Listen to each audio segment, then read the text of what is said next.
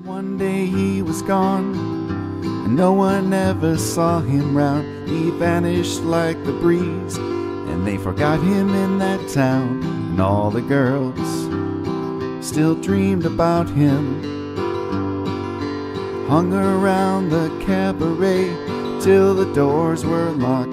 Then one day, on the hit parade,